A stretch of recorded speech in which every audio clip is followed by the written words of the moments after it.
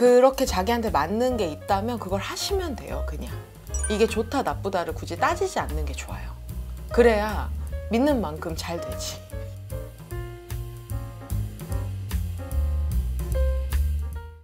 혹시 선생님은 좋아하는 색깔이 있으세요? 네 어떤 색을 좋아하세요? 저는 빨간색을 좋아해요 어, 저랑 똑같으시네요. 네, 저도 빨간색을 좋아하는데 저는 빨간색이 좋아졌어요.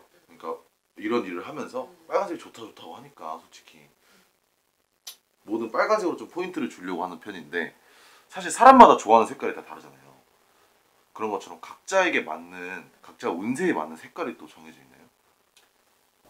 어, 사람마다 달라요 음, 사람마다 다른데 네. 모든 사람들이 다 정해져 있다라기보다 네. 어, 그런 게 보이는 분들이 계세요. 저는 점을 보면서 네. 어 이게 이게 너의 행운의 색깔이야 이렇게 말한 적은 있어요. 너는 무슨 색, 너는 무슨 색, 너는 무슨 색 이런 건 사실 잘 모르겠어요.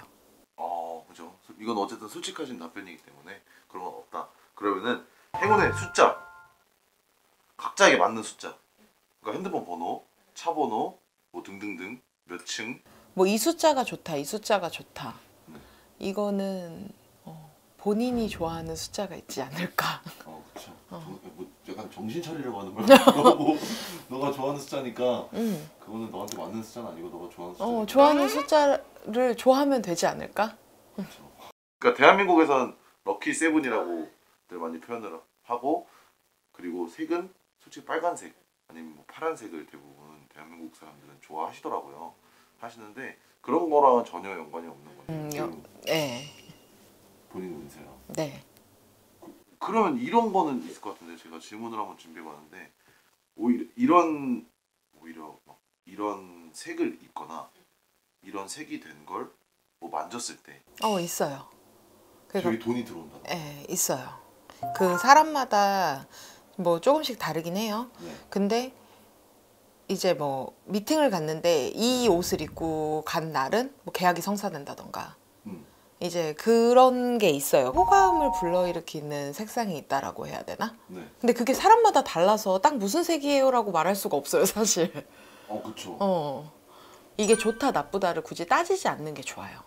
그래야 믿는 만큼 잘 되지. 그렇죠.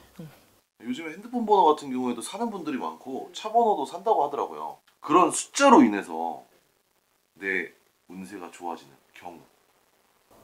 해야 되나? 네. 저는 그것보다 더 다른 중요한 게 있다라고 생각을 해서 그러니까 내가 올해는 뭐에 꽂힐 운이에요. 네. 그럼 그냥 꽂혀서 하고 이제 이런 거에 그런 게 연관이 있을 수는 있어요. 그게 뭐 숫자가 될 수도 있고 색깔이 될 수도 있고 네. 이럴 수는 있는데 음. 음. 어.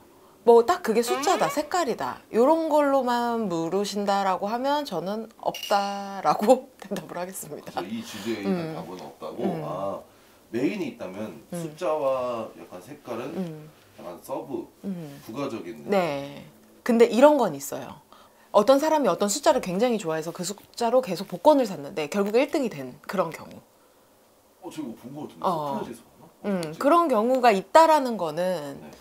어, 숫자의 운이 없다라고는 할 수 없다라는 거거든요.